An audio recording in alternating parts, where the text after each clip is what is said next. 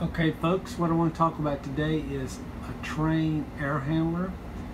I went to a customer's house today and they asked me, David, can you tell me how old this air handler is and what kind of freon it takes and a couple things about it? So I go to the air handler and this here is the Trane model number of this particular equipment. It's a TWE 030. That means this unit is a two and a half ton. That 30 stands for 12,000 BTUs times 2.5, which is two and a half ton. Here's the serial number.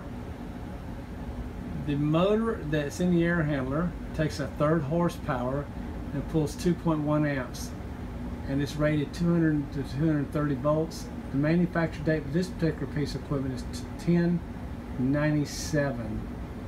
Okay? And then another thing you always want to look at, what type of refrigerant. This particular refrigerant is the R22. So the basic things on the Trane air handlers is to look what model you got, the tonnage that you have, the year that was manufactured, that Trane does make that easy for you, and the type of refrigerant that you have. That's all there is to it. If you have any questions, go to our website. We blog on everything. We'll put it on our website, jonesairconditioning.com. If you like this video, please share, please subscribe, please comment. Thank you.